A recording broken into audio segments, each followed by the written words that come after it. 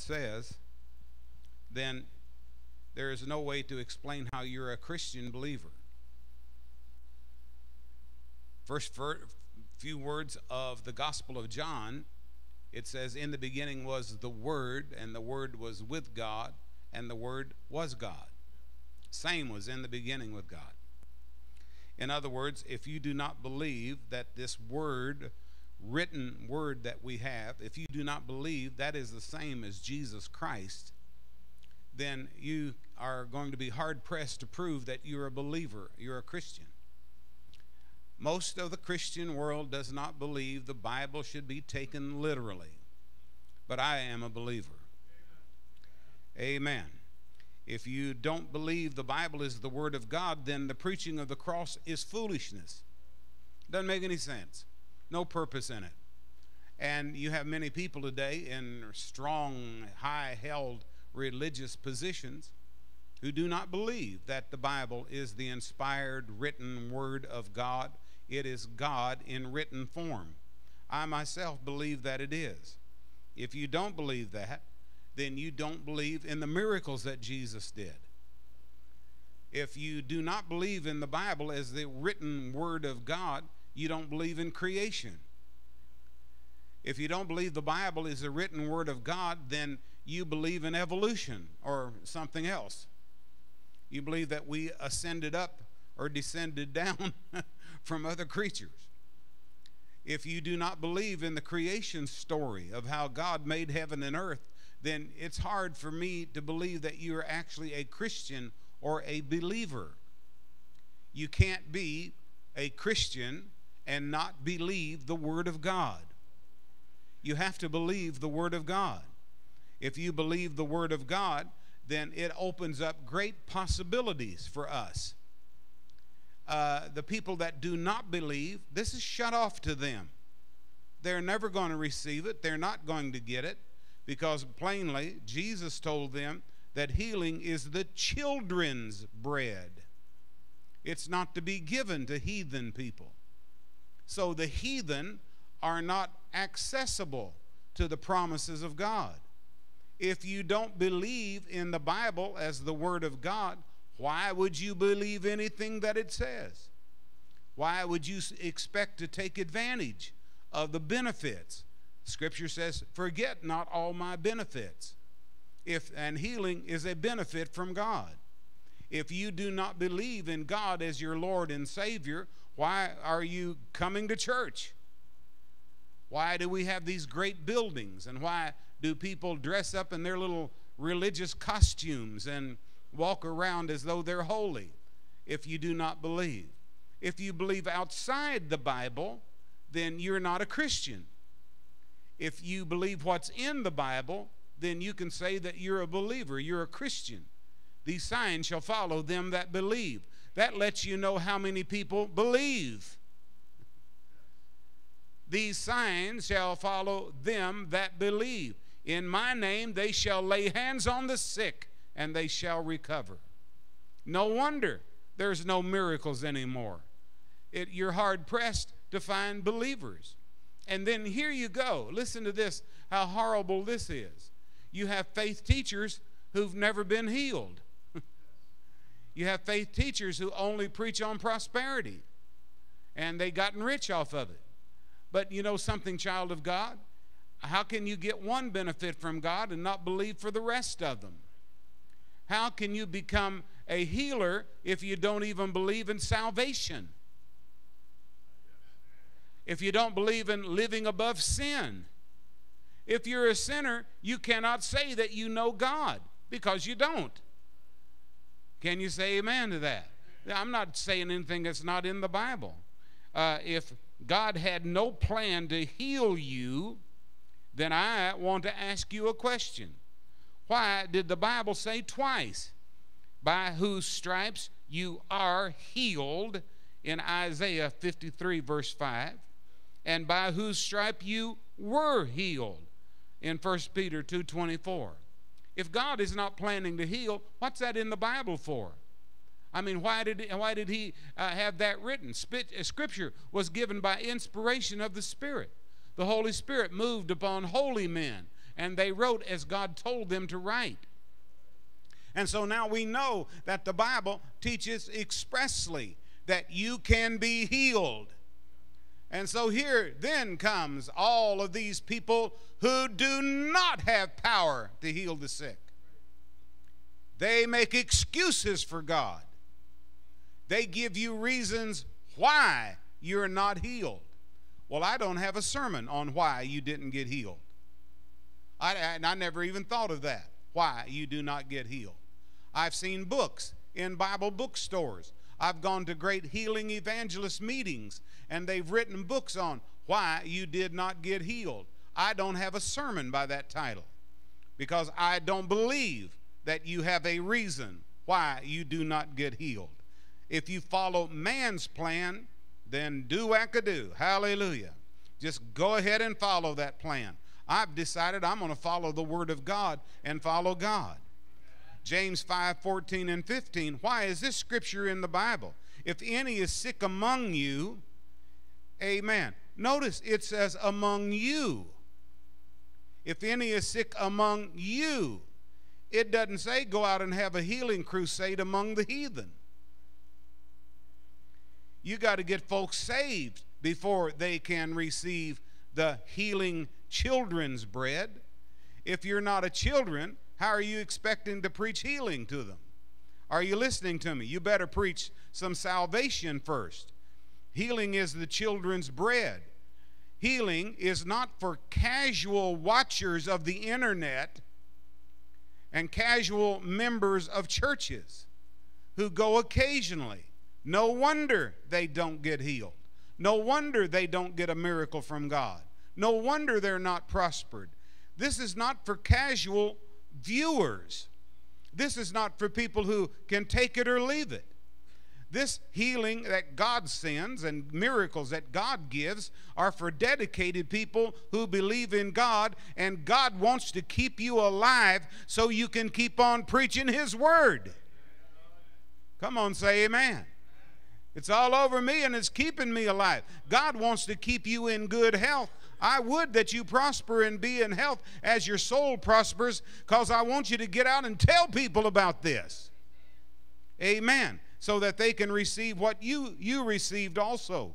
Listen, here, here's a few. Uh, Jesus did seven great miracles in the Gospel of John, from turning water into wine, walking on the water, and uh, and the raising of Lazarus. Listen to this. Uh, Jesus exhorted his disciples and everyone he met to have faith in God and trust in him. Faith is needed for Jesus to heal and for miracles to happen. We need faith to believe. But let me suggest to you that once you believed, why do you have to have more faith in order to be healed? Amen. You have to be careful here. If I believe that God is saving me and I'm going to live an eternal life, why do you have to have more faith to get rid of your headache? It seems like it would require no more faith. And that's my message to you today. You want faith for miracles? Get right with God. Come on, say amen. The centurion servant in Matthew 8 10 Jesus said, I assure you, I have never found this much faith, no, not in Israel. Because he said, Hey, it's not even necessary for you to come to my house. Just speak the word only, and my servant will be healed. Come on, say amen. The paralytic man at Capernaum, uh, Jesus said, Stretch forth your hand. Amen. And when Jesus saw their faith, he said, Matthew 9 15, Your sins are forgiven you.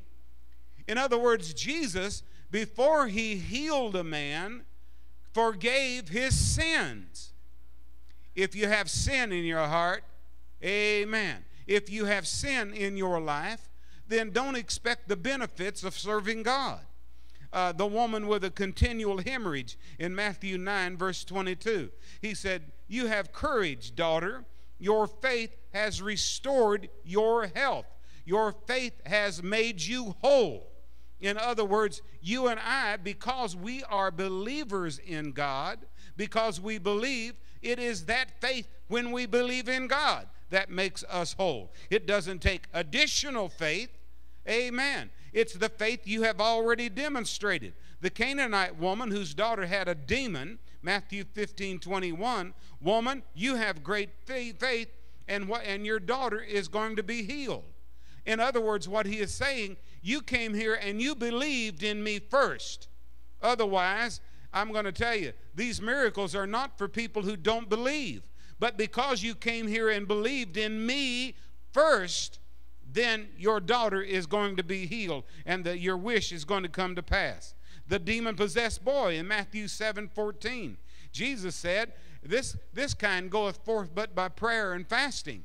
In other words, you have to have contact with God and you have to have dedication. In other words, what he said was in Matthew 17 14, if you have faith the size of a mustard seed, the smallest of all herbs, and then it groweth into a tree. If you have that kind of faith that is going to keep on keeping on, continual, you're not going to change. Is anybody here after you serve God and got saved? Are you going to change your mind?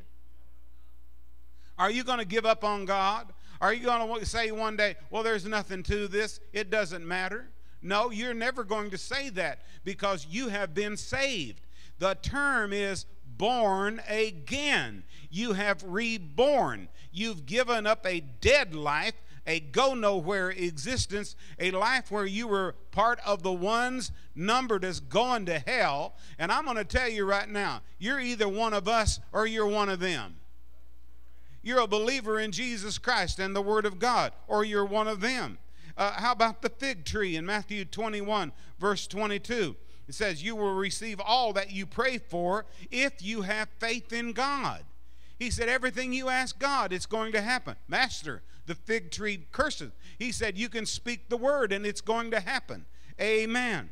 And, uh, and the daughter of Jairus, Jairus was a, a ruler in the temple. And Jesus, Mark 5 21, he said, Fear is useless. Fear is not going to get you anywhere. What you need is trust in God. I'm telling you right now, when you get in the middle of a storm, hallelujah. Jesus said, Why are you so terrified? Why are you lacking in faith? In Mark 4:35. What he's saying here, child of God, is you got to keep your faith in God. You got to keep on trusting. Don't give up on, on God. If the world has given up on God and the circumstances have given up on God and the circumstance says that it's impossible, you hold that one scripture in mind. It may be impossible with man, but with God, all things are possible. Can you say amen? Your faith has been your salvation. The leper that returned to Jesus and said, Listen, uh, I, I, I want to thank you for making me whole. And he said, You know, it's not me you thank, your faith has made you whole. Your faith has been your salvation. It's what's done. Luke 17 19.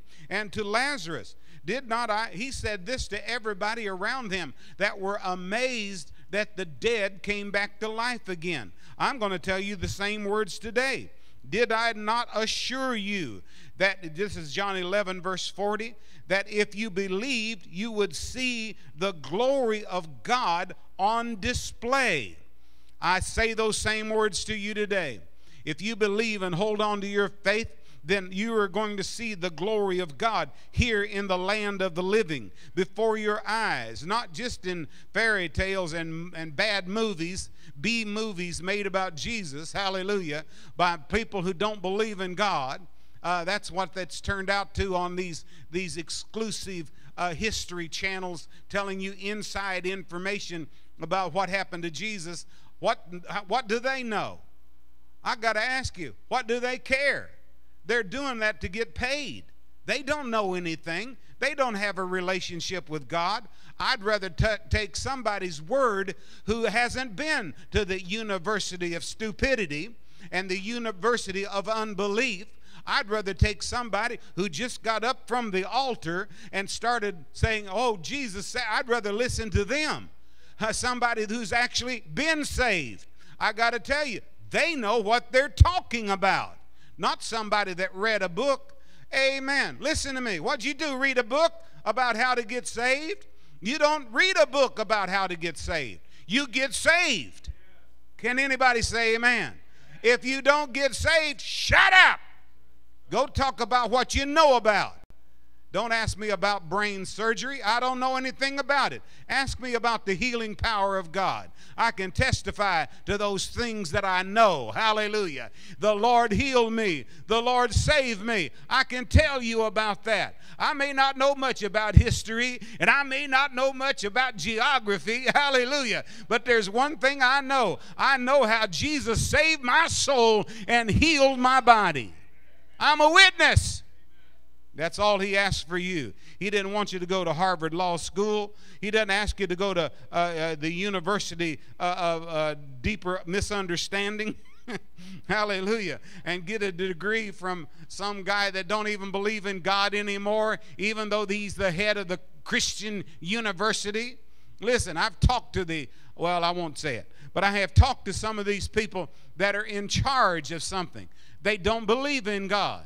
They don't believe in an experience with God. They no longer believe. I asked the head of a major, major movement that is now uh, adding up to nothing since they decided to put a, a, a woman in charge of it. The Queen of England is in charge of the church. He doesn't, he, it was political. He doesn't even believe in God. I said, Are you, how did you get here? How are you in charge of a university? That teaches people to preach the gospel. Well, can I tell you right now? I believe and I know, and I know more than he does because, hallelujah, I, I may not be able to conjugate every, every verb in the Bible in a foreign language, but there's one thing I do know I know how to call on Jesus and he'll answer my prayer. Hallelujah. The reason that no more miracles happen in these dead, cold, mausoleum kind of churches with their big steeples and their ice cold seats and their cold floors, the reason that they are not doing anything for God anymore is because they no longer have faith in God.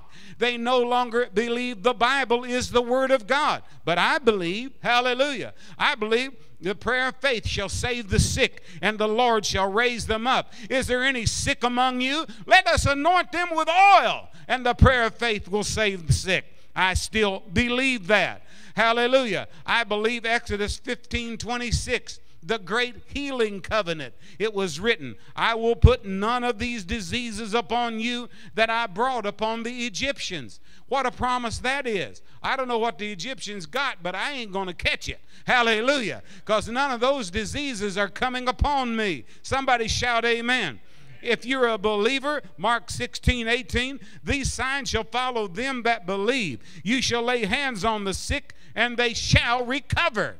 The reason there are no miracles in 99% of the churches is because of this scripture here. They do not believe. Sorry. In other words, to find a miracle, they say you have to go to some harebrained faith healer somewhere. And they ridiculed us and talked about us for laying hands on the sick. Oh, he's a faith healer. No, I'm a Jesus healer. Hallelujah. My faith is what uh, didn't heal me because when I got healed, I didn't believe nothing. I was too dumb to believe anything. I was too young. Jesus healed me. Can you say amen? He said in Exodus 23 25, I will take sickness away from the midst of thee. In other words, not only did he say, I'm going to put none of these diseases upon you, he said, I'm just going to go ahead and go the whole hog here. I'm going to take all sickness away from the midst of thee. Can you say amen? What kept them alive for 40 years in the wilderness? It was faith in God. Hallelujah. They believed God every day of, and every night. All they had to do to know that God was with them was look up. They could see a pillar of fire by night and follow a cloud by day. They knew God was there with them because they could see the glory of God. I say to you, if you believe, you will see for your own eyes and declare the glory of the, of the God that we serve is going to come to pass in this day and time. I'll take sickness away from the midst of thee. Uh, 1 Corinthians 12 9. Is there a gift of healing as a spiritual gift? The answer is yes. If you have a gift from God, this is a charisma. Uh, that's the word, a charisma. Uh, no wonder I'm a charismatic. It's because I have the gifts of God. I have the charisma. I have the anointing. Hallelujah. You may not see it, but you might not be the brightest seer in the world. Hallelujah.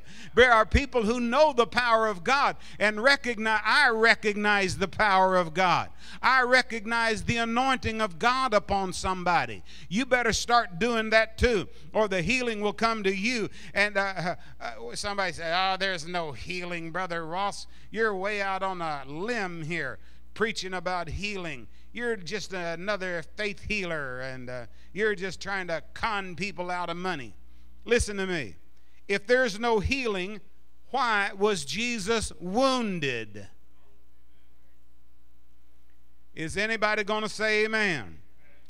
But he was wounded for my, well, they say this is all about sin. No, read it all. He was wounded for my transgressions, he was bruised for all my iniquities, my evils. The chastisement of our peace was upon him, and with his stripes we are healed. Isaiah was preaching healing by the stripes of Jesus 600 years before Jesus was born. Amen. By his stripes we are healed. Why did Hosea say? Hosea is just a, another name for Isaiah, but it's a different Isaiah. So they made his name Hosea. Yeah, Hosea, the sixth chapter, in the first verse Come, let us return unto the Lord, and he will heal us. In other words, again, you have to get right with God if you need healing in your body. Why? If there's no healing, why did Jesus say, Luke 4 18, the Spirit of the Lord is upon me, for he hath sent me to heal the sick Hallelujah. Why did Jesus say that? You believe the word? Jesus said that. The Spirit of the Lord is upon me. Right now, if you're a believer in God, you need to raise your hand up and say, The Spirit of the Lord is upon me. For God hath anointed me Hey, hallelujah. You're the anointed one today. You're the one that has to heal the sick in this day and hour because these dead, cold, phony, baloney, dress wearing preachers with the hats on their head, I got to tell you, they're not the children of God. You are the children of God. They don't even believe in the same Bible. They pray to dead people all the time. How can you, uh, why are you searching for the living among the dead?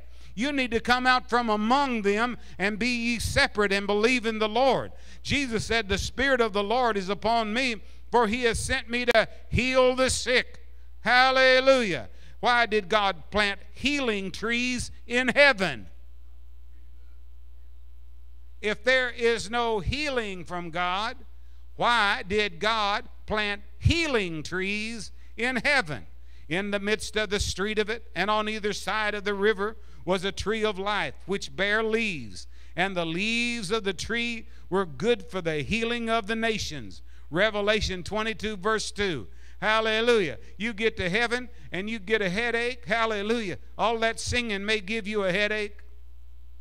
Amen. You may get tired of hearing Abraham and Martin and John, or I mean, Abraham, Isaac, and Jacob Hallelujah. You may get tired of listening to Billy Graham preach for a while and get a headache, and you say, Oh, I got I got a headache. Give me one of them leaves over there, them healing leaves. Hallelujah. I believe God will do it for you. God promised it, and if He promised it, did He promise it and not plan to do it? Get your mind right here. Get your mind in the Bible instead of listening to all of these goofy people in the world. I'm going to tell you, doctors don't know everything, but Jesus does. Amen. Doctors will mess you up. More people are killed by doctors than killed by opioids in this world every year.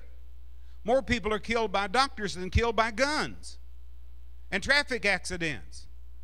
Uh, you know, you take your life in your own hands when you go to a hospital.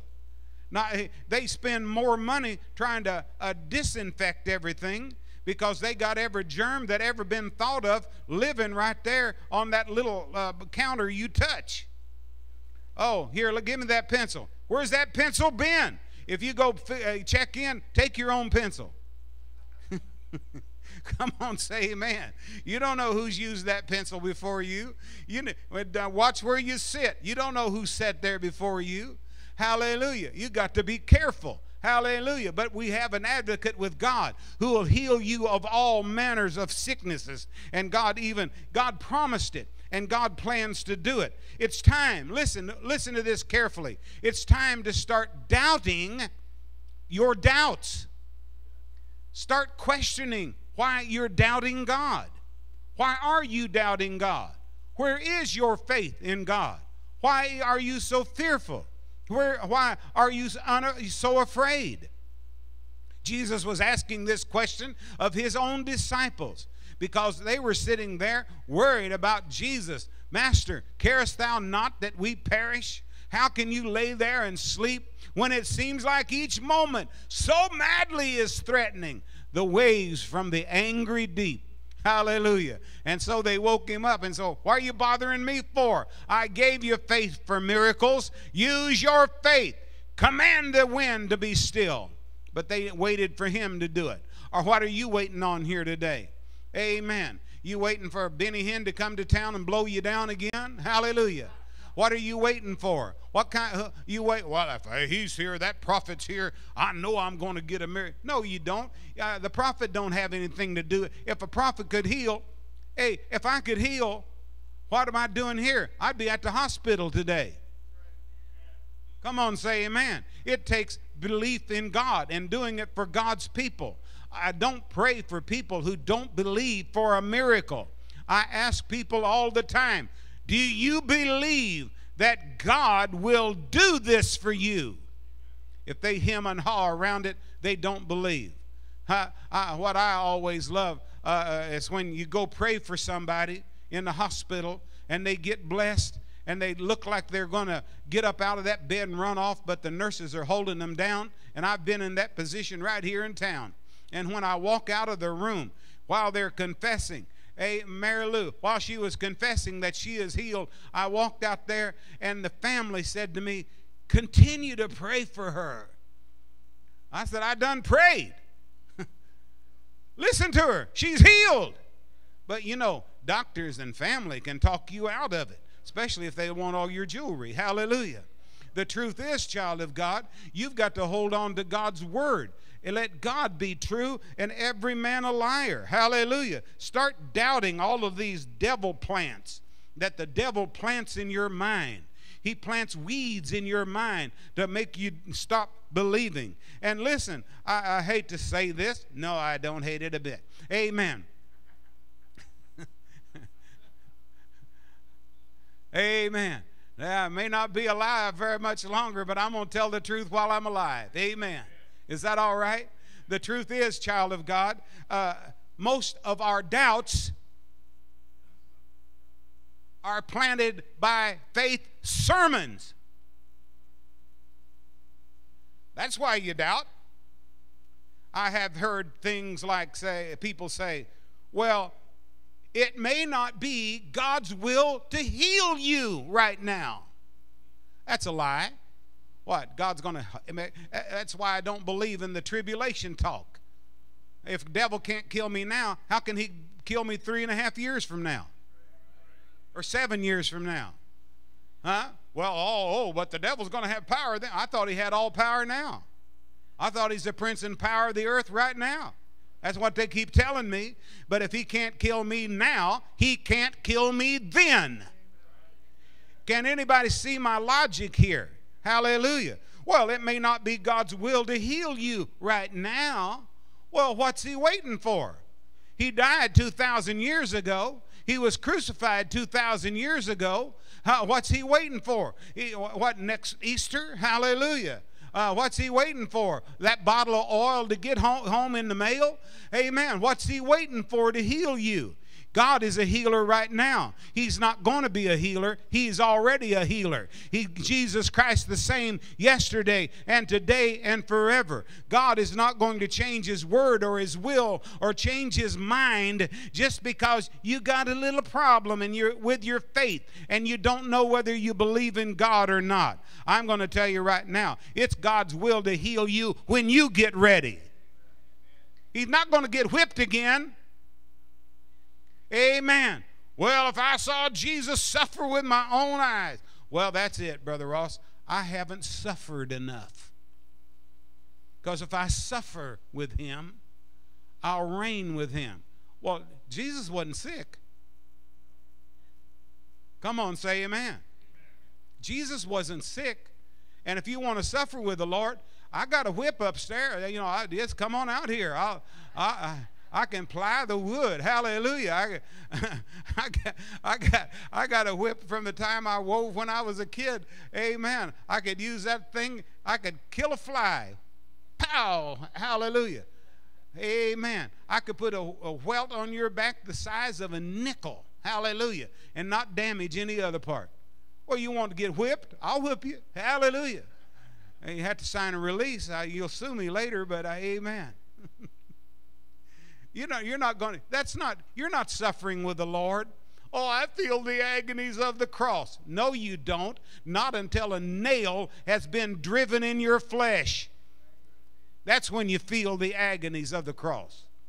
You and I need to realize uh, that uh, uh, uh, uh, it may not be God's will to heal me. I got to ask you, what more does He have to do to convince you? He's not going to go to Calvary again. What more does Jesus have to do to convince you that He is a healer of your body? What more does He have to do? Does He have to come to you in a vision? Does He have to come to you in a hickamosai moment? Hallelujah. Does he have to come to you and, and you have that the feeling of goosebumps run up and down your skin? Whoo! I felt that. Hallelujah. Now I know I'm healed. I felt it. Amen. Well, I got news for you right now. If I don't feel it, or if I do feel it, if you feel it or you don't feel it, by his stripes I was healed. I don't have to feel a new blessing to know I'm healed by his stripes. Uh, why did Jesus have a healing ministry? in the first place if he's not going to heal you when you get sick. Hallelujah. Though uh, somebody said the will of God is different for different people. Whoever said that hasn't read the Bible at all. What is God's will concerning you? Well, you need to find out what that is. They say, well, there's a personal will, Brother Ross, and then there's a general will. There's a will for all people, and then there's a will for me individually. You grow up. Would you do that? What? God's going to change the whole Bible and change the whole history of the world so you can get an individual revelation of God? No, God is a healer. God is a healer, and He is a healer right now today. He's not going to become a healer. He's already a healer. Matter of fact, in Psalm 107, even before he walked here in the flesh, the Word of God says he sent his Word and healed them. Remember, in the beginning was the Word, and the Word was with God, and the Word was God, and he sent his Word and healed them. Amen. The Word heals. If you don't believe that the Word heals, read it. It'll change your life. The will, they, well, the will of God is different for different people. One may have, listen, I've heard this until I'm sick of it. It's actually making me sick. and I'm preaching on healing. One person has more faith than another. One person is more righteous than another. Because he's righteous, amen. Well, what are you? What? You're saying one person's more righteous than another is? Who are you to judge that? How do you know? Well, only we can know ourselves. Well, I don't even know myself. Amen. I don't know hardly anything about myself. I don't know why I think what I think or do what I do. And the only thing I can blame is the Word of God because I believe that with my whole heart. He sent His Word and healed them. Jesus healed all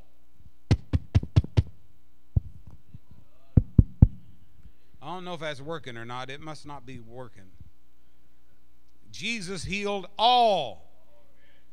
How many is all? Huh? He healed good people. He healed bad people. He didn't call them good or bad. People called them good or bad. Oh, God would never do that for her. Look how bad she is. Amen. Well, you're worse than her. What right do you have to condemn somebody else? Listen, Jesus will do the condemning. Amen. He's the one that does that. And when Jesus does it, people change. Uh, he heals all people, all really sick people, all people who are not so sick. He uh, heals all, and he uh, uh, didn't have to get just near him and touch him or be touched in order for Jesus to heal them. They didn't have to say, I'm going out to Jesus revival healing meeting tonight. Tonight, but you know, he prays for the sick. People didn't talk that way. Everybody that turned to Jesus, he healed them. He sent his word and healed them. And here, we've got so many rules that are not even anywhere near what the Word of God says. We have rule. Who made these people? I'm sorry. You need to take a lot of your faith books and throw them away. Get back in the Bible. Amen. I, you know, I, I know that I honor all these people that have gone before me. I honor people like Peter and James and John. I, I, and, and uh, uh, uh, not the Beatles either. I, I, honor uh, people that have known Jesus and walk with Jesus. I honor Jesus. I honor him. What they say, I'm going to listen to more than I'm going to listen to somebody that was born 25 years ago unless he's confirming what the Bible says. You know, we've had great faith teachers in the past. I don't read many things about miracles that they did.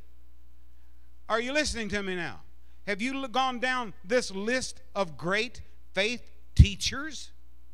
Many of them have nobody recorded that they prayed for and God healed them according to their book on faith. I've gone out to great faith teachers' healing meetings where they prayed for nobody except some general prayer. Ever, oh, I feel somebody over there near Albuquerque has, has a backache. Who? See how the Holy Spirit works? Holy Spirit, yeah, I'm sure. Okay, that's a good start. Hallelujah. I'm sure there's somebody near Albuquerque got a problem with their back. Amen. But how do you know they're healed? And how do you know it's true? Amen. God can speak that way. I believe God wants you to walk up to somebody and say, You know that back problem you have? God is going to heal you today. Now, I know that's the gift of the Holy Spirit, but people don't believe in those anymore because all of the people who've tried to make you doubt. Huh? Uh, God heals different people because different people have more faith or less faith, or they're holier, or they're more righteous, or they went to Lourdes, or they, they went to see the Pope, or they went to see some healing evangelist. I got news, or I read their book. Amen. It always kills me when people want to quote a book to me outside the Bible. Well, you know what preacher so and so said. Listen, everybody knows close attention to what I'm saying. If it ain't in the Bible, I don't care what they said. Is that too cold? Am I being cold? Well, I'm going to tell you right now, I'm in good health because the Lord keeps me high. Huh? This excuse makes me sick here, I'm talking about. They say, I'm sick for the glory of God, and God is working out His purpose in my life. A lady with cancer told me that. And I said, Do you really believe that you're sick with cancer for the glory of God? And she said, Oh, yes, Brother Ross. I said, Where's your children at? Instead of praying for you to be healed of cancer, I'm going to pray God gives you another cancer. Bring your children in here. I'm going to lay hands on them and pray God gives them cancer too. If it's for the glory of God. Don't you want to give God glory? Instead of that one little cancer you got eating away your head, hallelujah. Let's pray and God give you another cancer, eat away your foot. That way you'll have it from head to toe, the blessing of God. Listen to what I'm saying here because I don't believe that you're sick for the glory of God. Otherwise, some of you be walking sick people, one sickness after another. When you go through the prayer line, you don't go through the prayer line to be healed, you go through the prayer line to get another disease. Because it's for the glory of God, after all. Hallelujah. No, we're not foolish like that. Men always want to ask one question. These are unspiritual men, unsaved men and women. These are people who do not have a moving of God in their life. They want to know this. Listen carefully. They want to know the cause of the sickness. Is it because we want to know who sinned? Did he sin? Did his mother sin? Did his father sin? Did his grandfather sin? Is that why he's sick? Is that why he's blind? Who sinned? Well, I got to tell you something here. It ain't none of your business. Amen. That's not a way to figure out how to heal people. It's how to figure out how to condemn people. I'm not here in the condemnation business. I'm here in the healing business. I'm not here to put you down. I'm here to lift you up. I'm not here to drag you into hell. I'm here to drag you out of there. I don't want to drag you to the cemetery. Amen. I don't even care how nice the limousine is. Oh, well, they got a better limousine over there than they. I want to be buried. There. I don't want to be buried at all. Come on, church, say amen. Well, they treated my aunt right when she. Well, yeah, but your aunt's gone. Hallelujah. I don't want to be treated right by a funeral home. I don't want to be treated at all. Brother Ross, they're rubbing you the wrong way. I don't want to be rubbed at all. Hallelujah. you need to get a hold of what I'm saying. Huh? If sick, I'm sick for the glory of God. That's hogwash. And then they want to know who sinned, who caused this. Can I tell you something? Uh, we need to take a simple course in, in uh, uh, microbiology here. Uh, we have things in this world called germs. If you get a germ, it ain't a devil. If you have uh, uh, uh, relations that are with somebody who has a transmittable disease and you get it, why are you surprised? Well, who sinned? Well, I don't even care about that. The sin is not the issue here. The sin is whether or not you're going to believe God to be healed. Jesus never said, before he prayed for anybody, you brought this on yourself. I hear preachers say that. You brought this on yourself. I hear doctrines say that. You brought this on yourself. Because if you had not done that, this would not happen. This is your quid pro quo. Hallelujah. You did that, and now you're getting this for it. Well, I, who would make a deal like that? Instead, child of God, what I want to pray is that you get saved and then you get healed. Jesus, you say, well, Jesus corrected that woman. Yes, he did. The woman found in adultery, but he corrected her after he saved her life. Go and sin no more. Didn't say she didn't sin. Go and sin no more. If God allows, here's another one. If God allows sickness to happen, he must have a reason. That's a real jump in logic here. If you change that word sickness to sin, if God allows sin in your life to happen, he must have a reason for it. Well, God wants you to sin to teach you a lesson? I don't think so.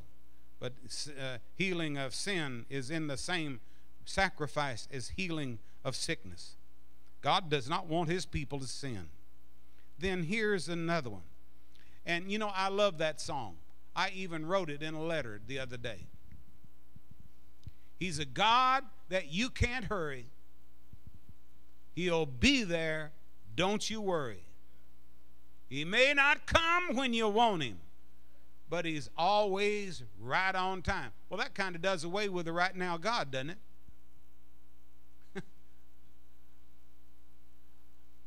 If, I, if I'm praying now, it must be because I have a need now. Come on, say amen. I, I don't want to put this off. I don't want to suffer another day. I don't want to go through this anymore. I want to pray now and get it now. I don't even want, Jesus said, don't even say four months and then the harvest. The harvest is ready right now. Don't say, uh, well, I planted, so I got to wait four months. He said, no, you can sow now, you can reap now. Hallelujah. Don't say it. Don't, don't be used by these clever little sayings. He's an on time God. Yes, He is. Well, don't explain it. He is an on time God. You don't have to add anything to that. Uh, on time God plus nothing is what God is. He's an on time God. God knows when to deliver. God knows when to set free. God is able to do it today. Jesus was always in the right now. What time is it? Look at your watch. The only time there is is right now. There ain't no other time. Right now is it. It's not five minutes from now, it's right now. Amen. We don't have a time machine. It's not was. God wants to heal you then. God wants to bless you 20 years from now. No, it's a right now God. Jesus never told anybody, you know, come back tomorrow. Make an appointment with my secretary. Hallelujah. Jesus, Jesus never, I'm getting silly now. Hallelujah. But I've got to tell you, salvation is all mine. I'm not going to be saved, I am saved. When Jesus comes back, I'm not going to be more saved then than I am right now. I'm saved right now. To the utmost, I am saved right now. I am healed right now. When Jesus, uh, uh, if, if angels floated through here and laid hands on me, I would not be more healed than I am by his word right now. All salvation is mine. All healing is mine. All deliverance is mine. It's all mine right now. I'm not going to be saved. I am saved. I am what God says I am. I can do what God says I can do. I can have what God says I can have. God says I am saved. God says I am healed. That plus nothing means that I am saved and I am healed right now. Join hands with somebody if you would, please.